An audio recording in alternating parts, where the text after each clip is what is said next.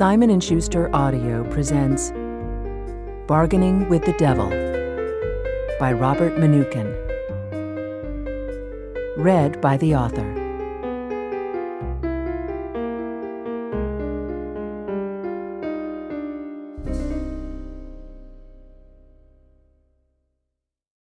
Introduction Should you bargain with the devil?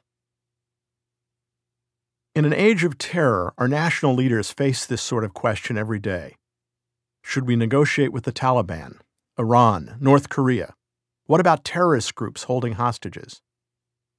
In private disputes, you may face devils of your own.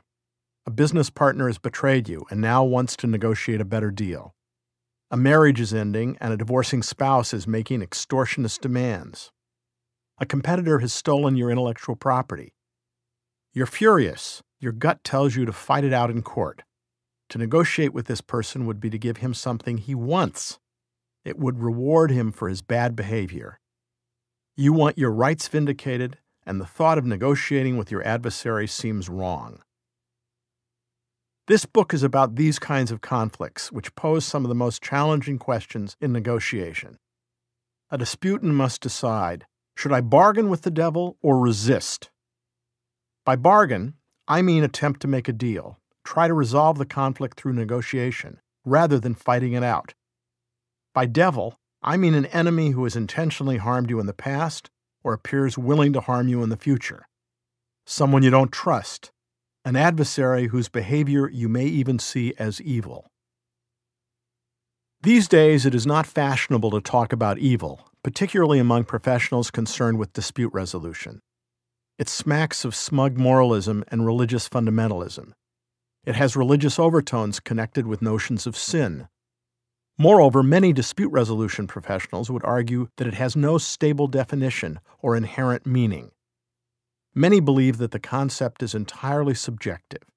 An individual who is involved in a conflict will often perceive the adversary as evil, but it is only a perception. A detached observer might disagree. Others would add that the notion of what is evil can vary greatly depending on time and place. This is not simply an academic debate about definitions. In my field, an air of taboo hangs around the word evil. It is considered a slippery and explosive term, much overused, loosely deployed, and too often exploited by religious and political leaders to malign their enemies and lead their followers into battle. While I agree that these dangers exist and demonization can get in the way of clear thinking, I do not believe the concept of evil is incoherent or meaningless.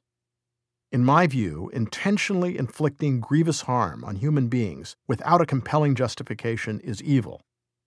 The Nazis' persecution of the Jews, the Hutus' slaughter of the Tutsi, and the Taliban's penchant for throwing acid in the face of girls who dare to go to school, all of these are evil acts. So were the attacks of September 11, 2001, when suicidal terrorists intentionally and without justification killed nearly 3,000 innocent civilians. My question and this book have their roots in September 11. In the fall of 2001, less than a month after the attacks, Harvard Law School's program on negotiation sponsored a public debate at Harvard on whether President Bush should be prepared to negotiate with the Taliban. This debate led me to begin thinking about a more general question. In any particular conflict, how should you decide whether or not it makes sense to negotiate? At the time of our debate, events were moving quickly. Bush had just issued an ultimatum to the Taliban in Afghanistan shut down Al Qaeda's training camps and turn over Osama bin Laden and his lieutenants or we will invade.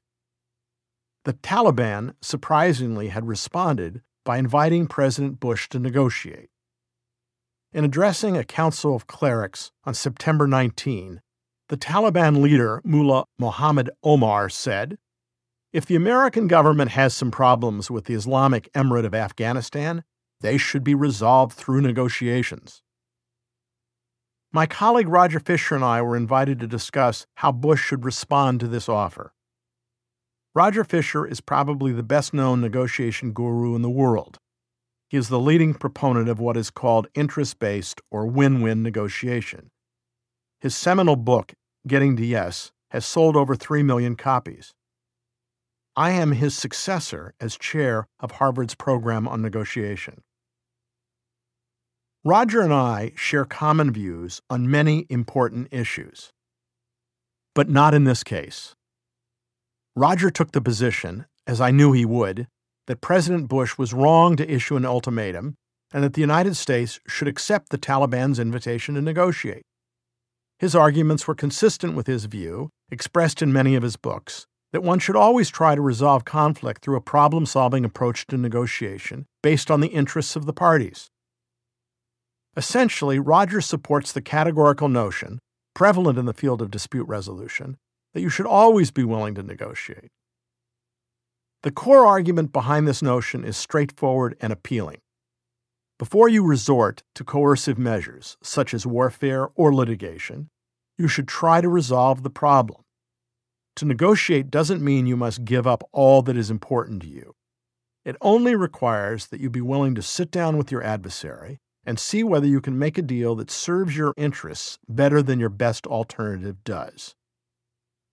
People and regimes are capable of change. You can't hope to make peace with your enemies unless you're willing to negotiate. You've also heard the categorical answer on the other side. The Faustian parable suggests you must never negotiate with the devil. He's clever and unscrupulous. He will tempt you by promising something you desperately want. But no matter how seductive the possible benefits, negotiating with evil is simply wrong. It would violate your integrity and pollute your soul. I must confess a natural aversion to categorical claims of always or never. There are usually examples that can puncture such arguments. In my debate with Roger, I explained that my two greatest political heroes of the 20th century are Winston Churchill and Nelson Mandela. Each had to decide whether to negotiate with an oppressive and evil enemy. In May 1940, Churchill refused to negotiate with Adolf Hitler, even though Nazi forces had overrun Europe and were about to attack a weakened Britain.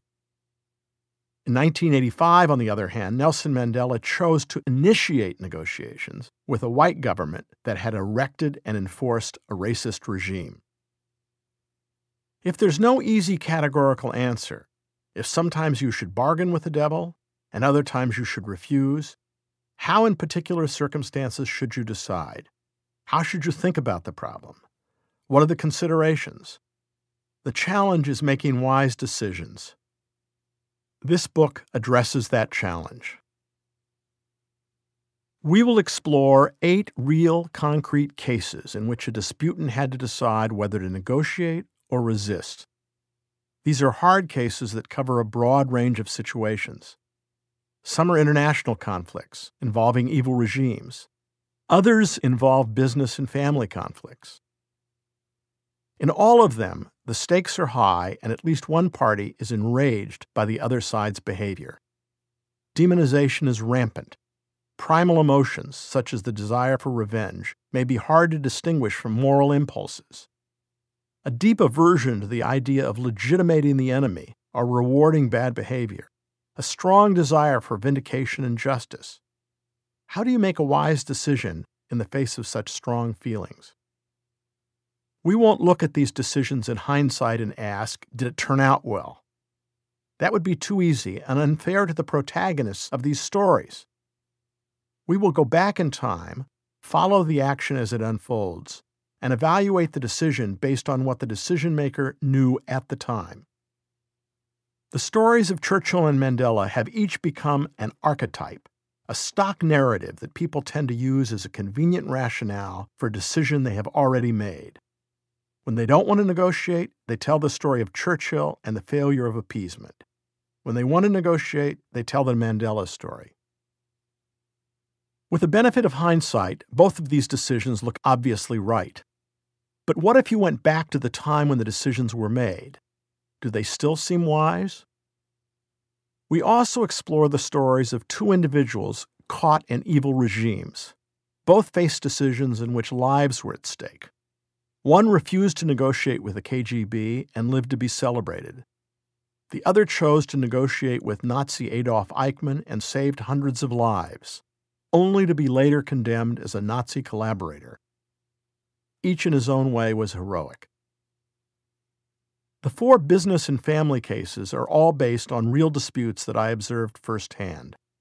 They involve two giant computer companies fighting over software rights, a symphony orchestra torn by labor conflict. Bitterly... We hope you enjoyed this preview. To continue listening to this audiobook on Google Play Books, use the link in the video description.